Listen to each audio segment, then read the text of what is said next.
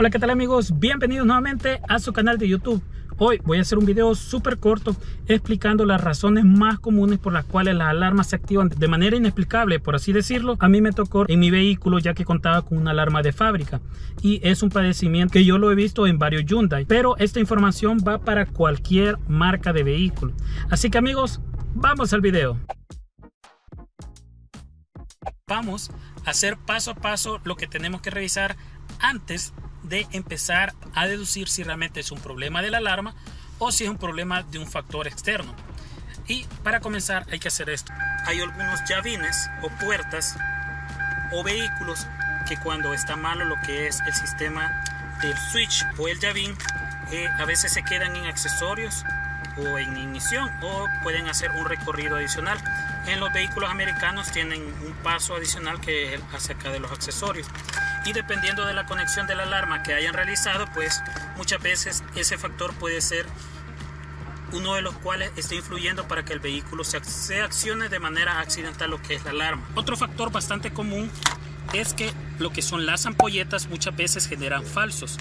Y eso puede darse por dos razones. Una, porque la ampolleta esté sucia de la parte interna de donde va el switch o el polo tierra el cual se utiliza para mandar la señal bien sea hacia la luz de techo o la información de puerta abierta y como los trigger o por así decirlo las señales que recibe la alarma vienen de esta ampolleta muchas veces eso empieza a falsear es importante revisar el cableado y revisar también lo que es el switch que no esté mojado o esté oxidado y esté generando como un paso falso por así decirlo en el switch de la puerta. Otro factor bastante común que se da es que algunos vehículos ya no cuentan con este taquito o han golpeado lo que es la puerta y eso hace que lo que es la parte del switch no lo presione de manera correcta.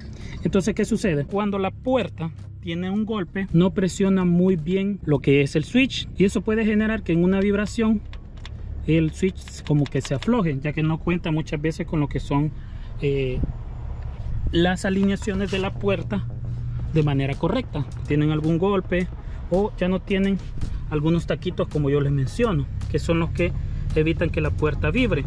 Es muy importante revisar eso a la hora que la, la alarma se active de manera accidental. Recordarles amigos que también tengo un video en el cual explico cómo hacer un corta corriente para su vehículo y se lo voy a dejar en esta parte de aquí. Para las personas que aún no se han suscrito les invito a suscribirse al canal darle me gusta y compartir en sus redes sociales. La mayoría de vehículos que cuentan un sistema reciente de alarma cuentan con una ampolleta que viene aquí en el capó, el cual fue el caso que me sucedió a mí. Y es de que esta ampolleta, cuando se mojaba, un ejemplo, entraba mucha agua en la parte de aquí de la faja, ya que no tengo algunos guardafangos que van en la parte de abajo, la ampolleta se accionaba de manera accidental cuando el vehículo estaba apagado. Este fallo es bastante común en Hyundai, en Kia y en algunos Toyota, ya que como les menciono, cuando el sistema de alarma, valga la redundancia, se arma o se activa, por así decirlo, esta ampolleta, por la cantidad de agua que había entrado, empezaba a, hacer como un switcheo falso. Y yo lo único que hice fue desconectarla no es lo correcto porque lo que se debe de hacer es reemplazar la ampolleta o limpiarla de manera externa para que no se siga ingresando el agua y colocar lo que es el taquito que hace que presione lo que es la ampolleta. Pero les comento porque este fallo yo lo he visto en varios modelos en Hyundai Veloster, en Hyundai Elantra, Hyundai Accent y este fallo es bastante común, así que una solución rápida es desconectarlo. La única desventaja es que si media vez después le quieren abrir el capó, por así decirlo, pues la alarma no va a sonar porque no está esto.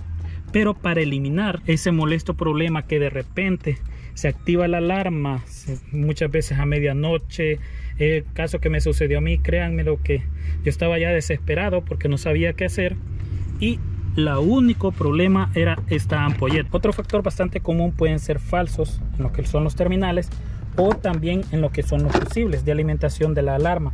Es importante revisar las conexiones para evitar cualquiera de estos problemas. Así que amigos, le doy las gracias a cada uno de ustedes. Recuerden suscribirse al canal, darle me gusta y compartir en sus redes sociales. Así que amigos, Hasta la próxima.